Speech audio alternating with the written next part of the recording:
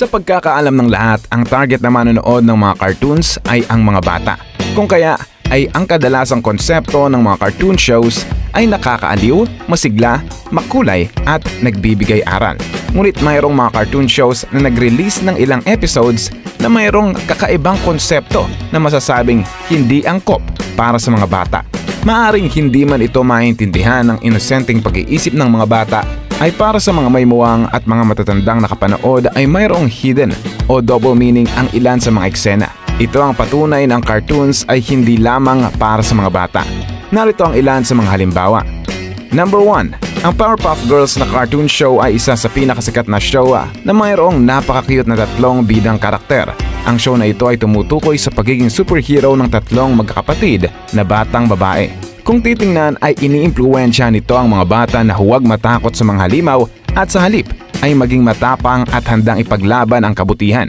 Ngunit kung hihimayin ang mga detalye ay mapapansin ang hidden dirty meaning sa ilang mga eksena. Isang halimbawa ay kung paanong nanabik at excited ang Townsville Mayor na masaksihan ang pagpasok ng lapis sa loob ng sharpener na hawak ng kanyang sekretarya na si Miss Bellum. Isa pang sikat na halimbawa ay ang episode kung saan muling umiksena ang Rowdy Rough Boys na siyang kalaban at siyang counterpart o boy version ng Powerpuff Girls. Sa eksenang iyon ay natalo ng Powerpuff Girls ang Rowdy Rough Boys sa pamamagitan ng pagbibigay ng halik sa pisngi.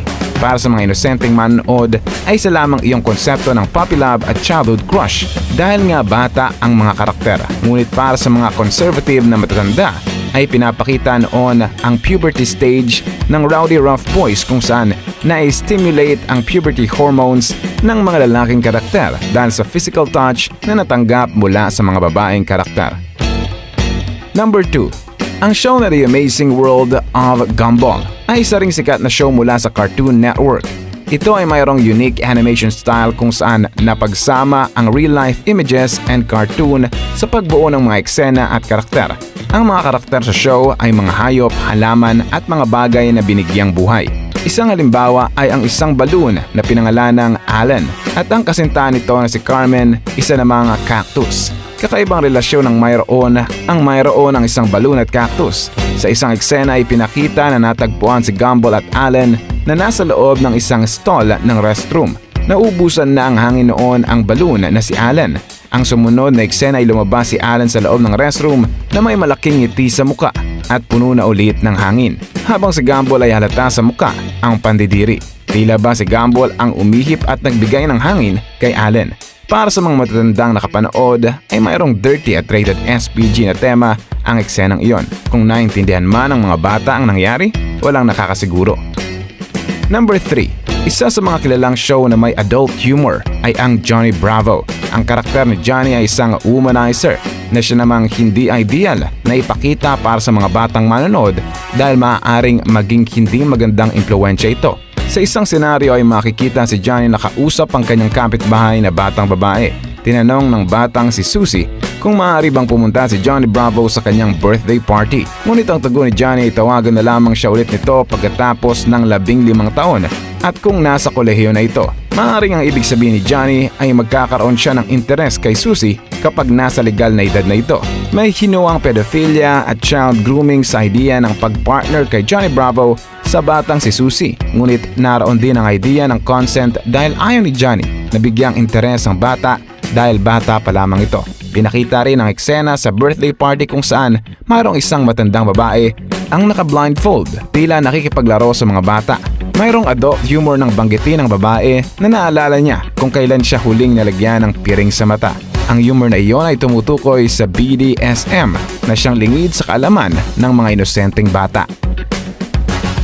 Number 4. Ang show na Dexter Laboratory ay kilala din sa science creativity na content nito kung saan ang genius na batang si Dexter ay mayroong sariling laboratory. Dito niya nililika ang kanyang mga imbensyon. Sa isang episode na pinangalan ng Mom Dark ay pinakita ang kalaban ni Dexter na si Man Dark, isa ring nerd. Dahil sa kagustuhan ni Man Dark na mapasok ang secret laboratory ni Dexter, ay nag-disguise ito bilang nanay ni Dexter. Ngunit nilapitan ito ng ama ni Dexter at tinukso sa pagkakalang ito ang kanyang asawa. Tinanong niya ito kung sasama ba ito sa kanya sa kama sa gabing iyon. Agad na nagdahilan si Mandark dahil hindi naman siya ang tunay na asawa Ang tanong na iyon ng ama ni Dexter ay nararapat na sensor sapagkat kahit lingid sa kalaman ng mga inosenteng batang ibig sabihin yon, hindi pa rin yon angkop na i-ere at marinig ng batang viewers ng show. Number 5. Ang animated show na Rugrats ay isang 90s classic na animated show. Nagkaroon ito ng mainit na usapin tungkol sa pagiging inappropriate ng ilang mga konsepto nito, lalo na't puro sanggol ang mga karakter sa kwento. Mayroong isang episode kung saan ipinakita ang relasyon ni Chucky sa bagong babaeng karakter. Ang episode na ito ay pinamagatang Cradle Attraction ng inspirasyon at reference ay ang rated PG na film na pinamagatang Fatal Attraction. Si Megan ang bagong karakter na siyang kaibigan ni Rugrats at may gusto kay Chucky. Ang daloy ng kwento sa episode na ito ay pinakita kung paano nabuo ang relasyon ni Chucky at Megan dahil sa patuloy na pangungulit at pangalabit ni Megan. Kung isipin ay hindi angkop ipakita sa mga batang konsepto ng relasyon sa murang edad. Maaring hindi big deal para sa ibang childhood crush at puppy love, ngunit maaring iba ang maging impluensya nito sa mga batang manonood kung kaya't kasama ito sa listahan ngayon. Number 6. Ang sumunod ay ang cartoon show na Special Agent Oso. Ito ay nilika ng PBS at Disney Junior na siyang isa sa mga kilalang production na lumilikha ng mga pambatang palabas sa telebisyon. Dahil mga batang manonood ang target audience ng ganitong mga programa ay kampante ang mga magulang na walang adult jokes na kabilang. Ngunit sa isang episode ng Special Agent Oso ay nabanggit ang linyang tossing salad. Ang linyang ito ay kilala bilang isang sexual slang na tanging matatanda lamang ang dapat nakakaalam.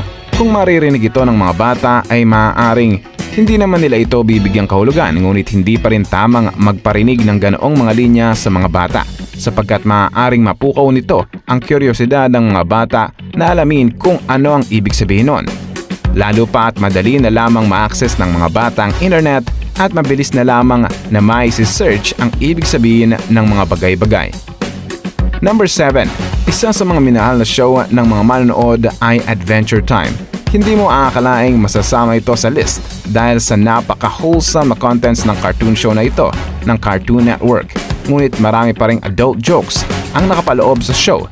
Sa isang episode na pinamagatang Burning Low, nagbigay ng isang dating scenario advice si Finn kay Jake. Alam naman natin ang girlfriend ng asong si Jake ay si Lady Rainicorn. Nabanggit ni Finn na mag-uumpisa ang lahat sa yakap at susunod simpleng halik. Pagkaraan ay mahawakan na ni Jake ang sungay ni Lady Rainicorn sa unang pagkakataon. Literal ang naisipahayag ni Finn, ngunit para sa mga matatandang makakarinig nito, ito ay mayroong double meaning. Number 8. Ang susunod ay tungkol muli sa cartoon show na Adventure Time sa episode 17 ng season 1 na pinamagatang When Wedding Bells Thaw. Nag-usap noon ang bidang si Finn at ang Ice King. Nabanggit ng Ice King nakakatapos lamang niyang itali ang asawa Weird sapagkat bakit kailangan niyang itali ang kanyang asawa. Ang tugon naman ni Finn sa sinabi ni Ice King ay, Your wife is into that? Ang tanong na iyon ni Finn ay tila ba tinatanong kung mayroong BDSM kink ang asawa ng Ice King. Pansin naman ng karamihan na manonood ang pagiging creepy at weird ng Ice paminsan-minsan. Ngunit ang mga ganitong bagay ay nabibigyan lamang ng kakaibang kahulugan kapag matanda ang nakarinig. Ano nga namang alam ng mga bata kung ano ang tinutukoy ni Finn sa kanyang tanong? Number 9. Ang cartoon show na Ed, Ed, and Eddie ay mas pang-adult ang konsepto kumpara sa iba pang mga cartoon show noong panahon nito. Ito ay dahil maraming adult jokes ang nakapaloob sa show. Isa sa hindi angkop na episode para sa mga bata ay ang episode na pinamagatang The Day the Ad Stood Still sa Season 3 ng show. Sa episode na ito ay makikita ang nagkalat na tissues at mayroong adult magazines. Kung makikita ito ng matatanda ay mabilis lamang na maintindihan ang konsepto ng senaryo na iyon. Ano pa nga ba ang asahan at magiging hinala kung magkasamang tissue at adult magazine? Ngunit ang kontrobersiya dito ay kung paanong napasa kamay ng mga batang bida ang adult magazine na iyon. Number 10. Ang panguli ay ang Season 2, Episode 20 ng cartoon show na Chicken and Cow. Ipinakita sa show kung paanong nilusob ng grupo ng mga babaeng biker ang bahay ni Chicken at Cow. Ang sumunod na ipinakita ay ang pagkain ng mga babaeng iyon sa carpet ng bahay. Iyon ay maaaring simbolo ng carpet munching. Ang carpet munching ay isa ring sexual slang na hindi dapat malaman ng mga inosenteng bata ang ibig sabihin. Bukod pa rito ay marami ring nagkalat sa internet na fan-made episodes kung saan sinasadyang hindi pambata ang konsepto. Nakalulungkot lamang dahil nasa sexualize ang mga bagay na dapat ay para lamang sa ikaaliw ng mga batang manonood. Nararapat lamang na mayroong patnubay at gabay ang mga bata kapag manonood ng kahit anong show.